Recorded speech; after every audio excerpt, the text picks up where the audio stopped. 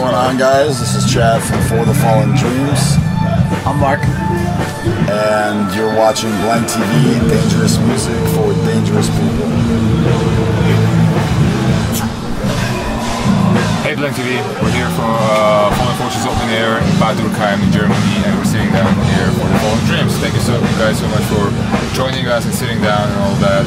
Uh, you, today, you started off the day with playing at Hell Mill Festival in Germany Festival, yeah, yeah. and then you came here and played uh, this Fallen festival. Yeah. So, what a, what a way to finish off summer tour.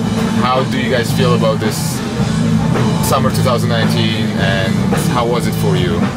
Uh, this this whole run has been incredible, man. Uh, the European crowds have been extremely uh, receptive to all the new music we've been playing.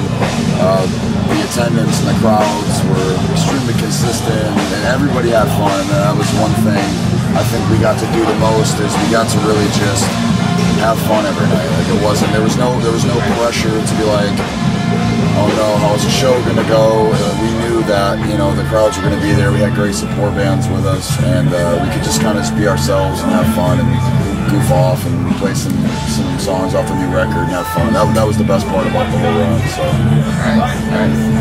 Um, and you guys are uh, going again on tour when you get back home, almost immediately. with of mice and men, Yeah. um, and it's going to be U.S. tour. So, uh, what I want to ask, after the summer, did you guys feel any? Do you feel any difference between a European and American crowd? Some things that you do, or like some things that adjust your set or your show or anything. How how do you sort of say mold to the crowd with those continents?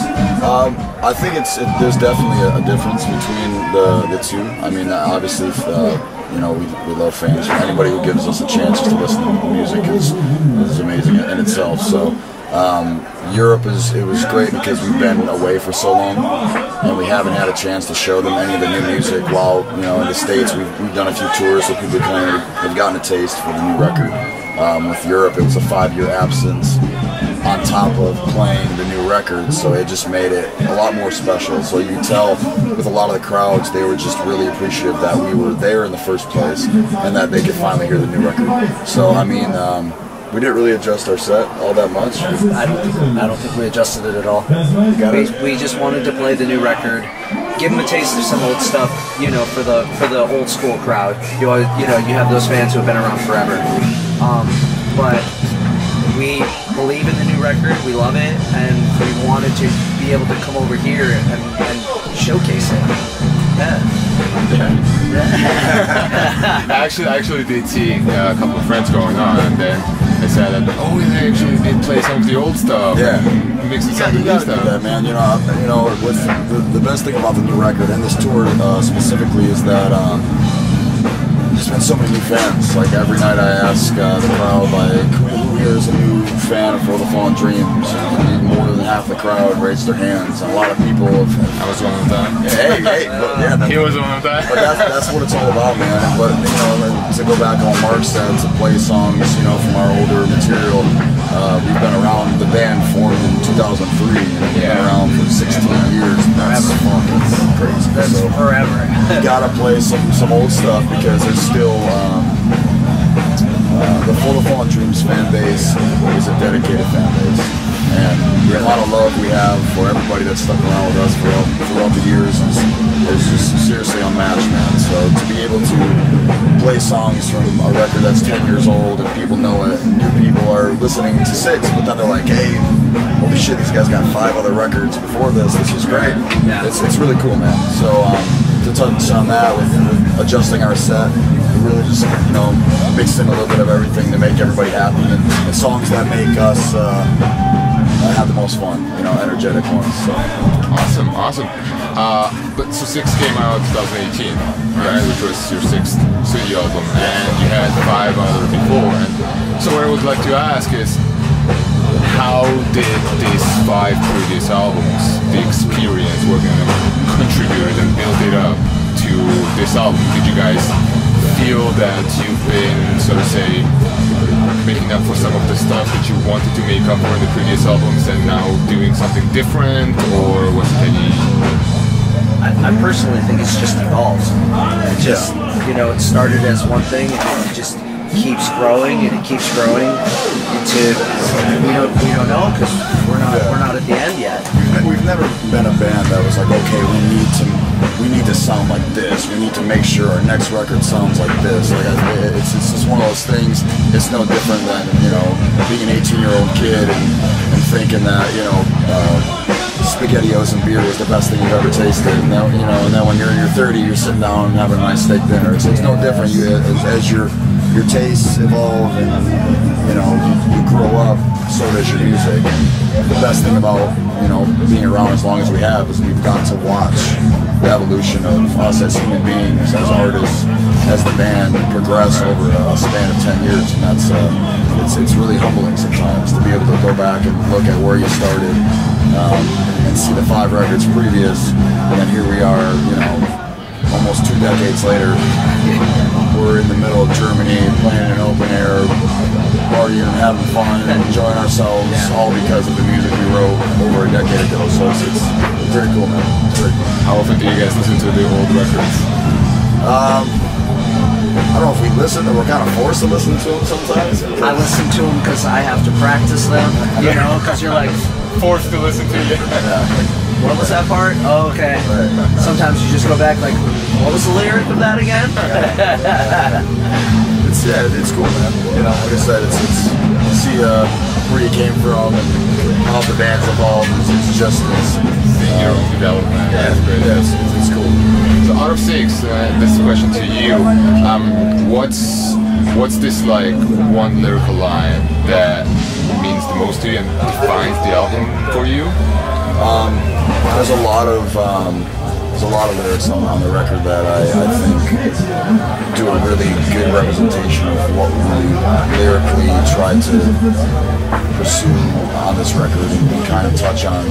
I think um, the undertow, you got to learn to walk on waters is a really good one just because it really captivates. You know, just you got to learn to sink or swim, man. Like life's gonna happen whether you like it or not. You're gonna go through the ups and the downs, and I think it's uh, important to walk on water and make it work, man. It's just the way it goes. So. Do you know my favorite? It's the beginning of hypnosis. It's my favorite. Lost time is never found again. It's a good one. That's that's that's the one, man.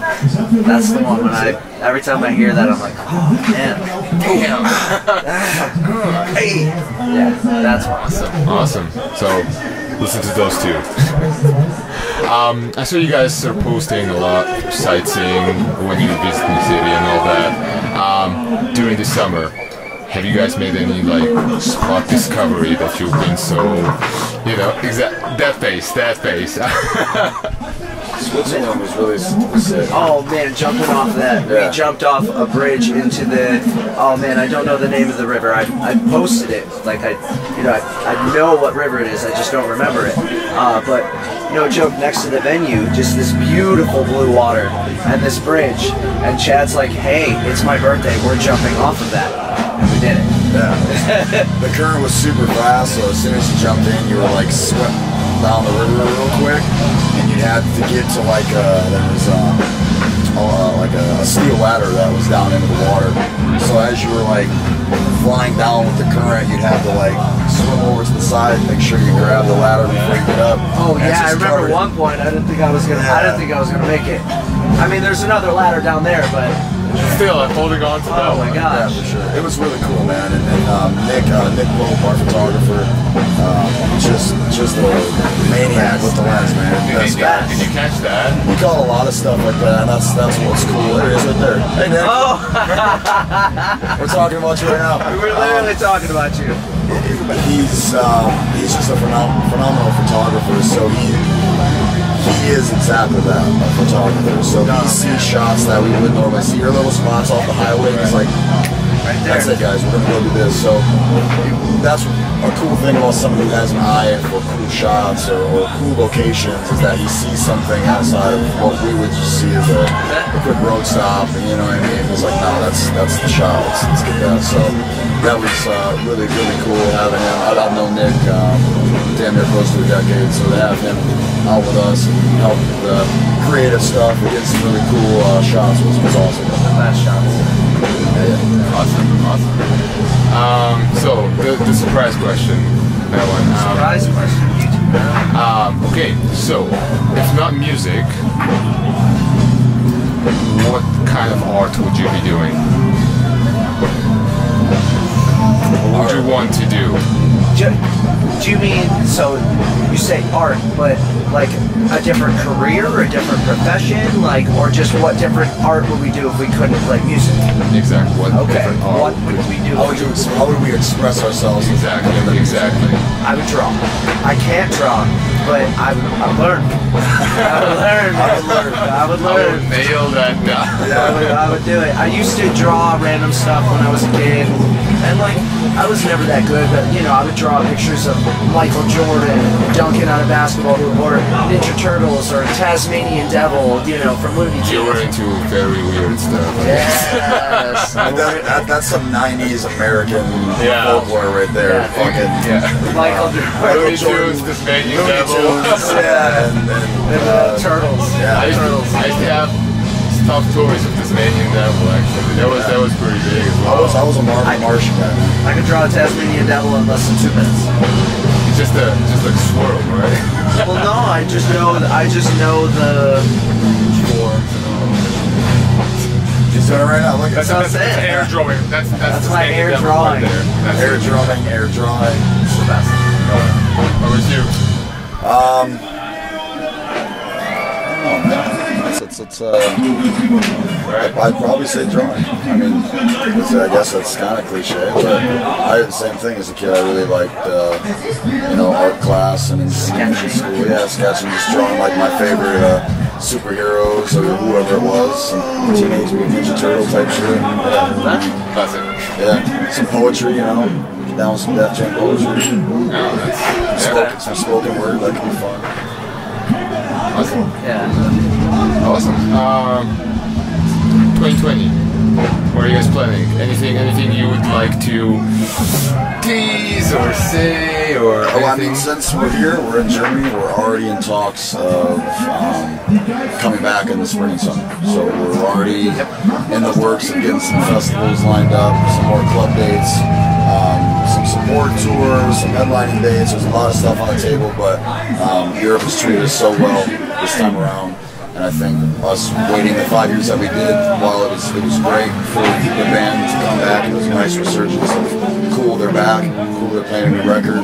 Now that we've done that, um, it's it's going to start becoming a, a more uh, uh, continuous thing, coming here more often and, really being able to appreciate all that uh, Europe and the UK and everywhere else we've been has, has, has given us on this run. So I think doing that.